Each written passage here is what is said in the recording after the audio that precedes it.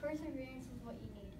I looked up perseverance in the Webster's Dictionary, and it told me that it is the quality to allow someone to keep on trying and to never give up. There are many reasons that I think perseverance is important. One, the first one is that people do not like quitters. So if you want to have a lot of friends, you can't give up. You would also miss out on getting better. You would also miss out on getting better at something.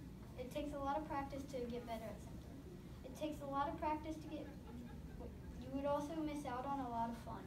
Practice can be fun and it helps you get better, which makes you feel good. No matter how many mistakes you make or how slow your progress, you're always ahead of the people who aren't trying. As a famous quote says, winners never quit and quitters never win. There have been many times in my life that I have had to use perseverance. One of the most recent is when I moved up to kid pitch baseball.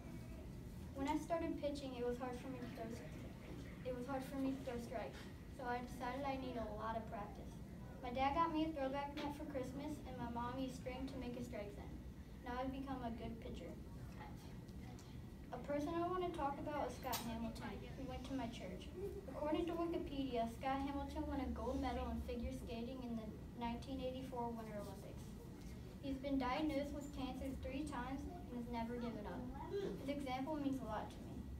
Scott Hamilton believes that the only disability in life is a bad attitude. I agree with Scott Hamilton.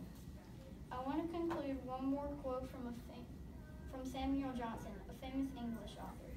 Great works are not performed by strength, but by perseverance.